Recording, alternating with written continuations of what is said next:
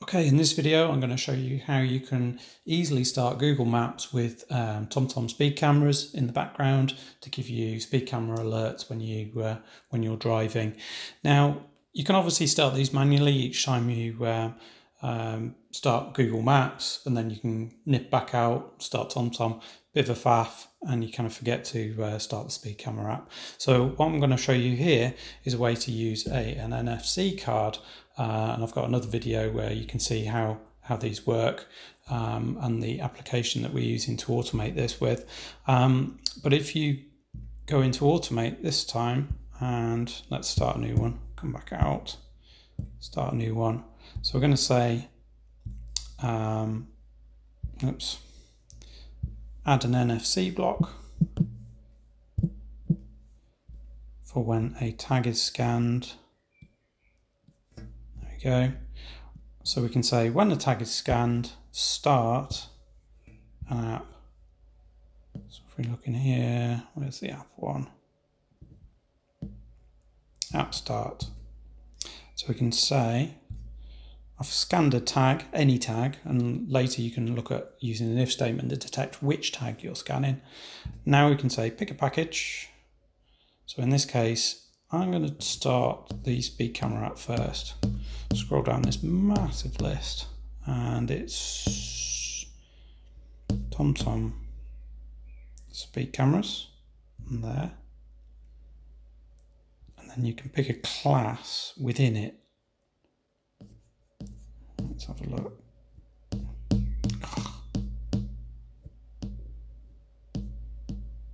speed cameras or TomTom speed cameras no speed cameras and speed cam activity and not bothered about any of that.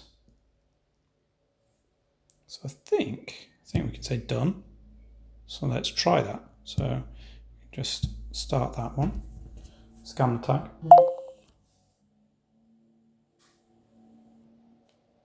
And it showed us tag two.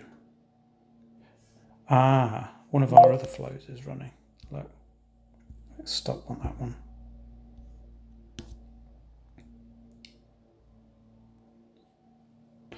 Right, so this, oh, be good if I'd labeled these ones. So this is the right app. And it was waiting for a tag to be scanned. Huh. No, it's not working. Let's just check that. Oh, so we say any in here.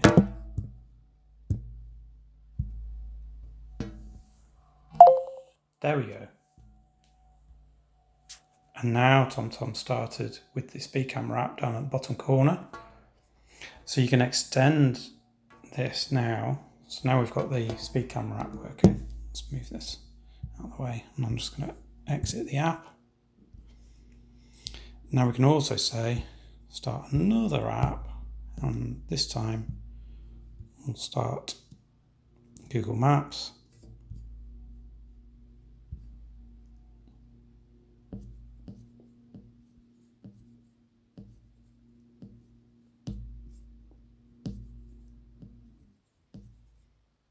Now is it Maps or Google Maps?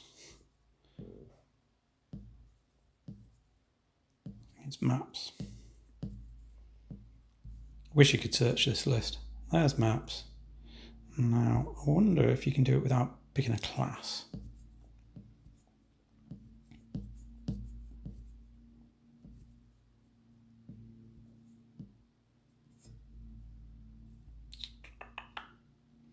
So you can take it straight into driving mode, let's try maps activity and say done, done, start. Now,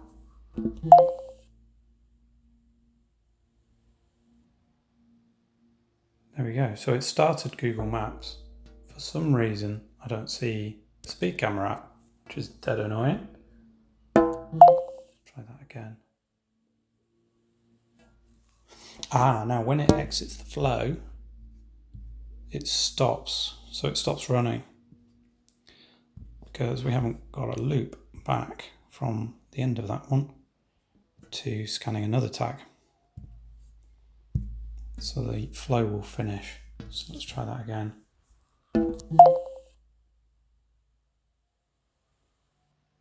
There's Google Maps.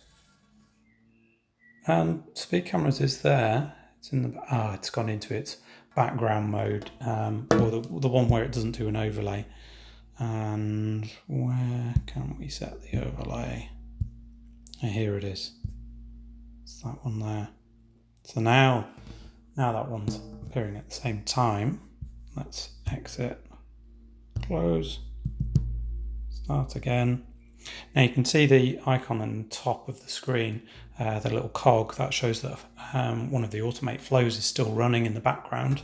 So we should be able to just scan the tag. And Google Maps has started.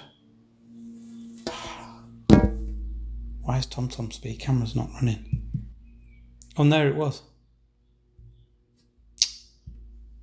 Alright, try that again. Close.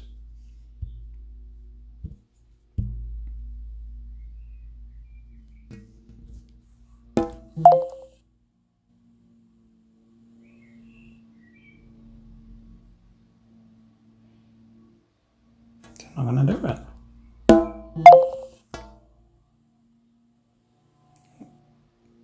Stupid thing.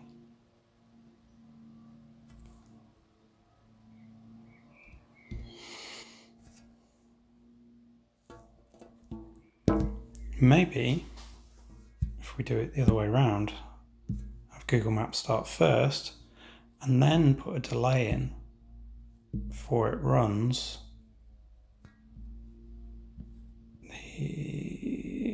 speed camera. So uh, let's move that out of the way, zoom out.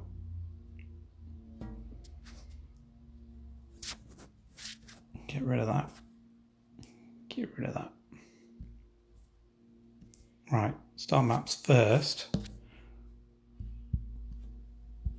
And put delay.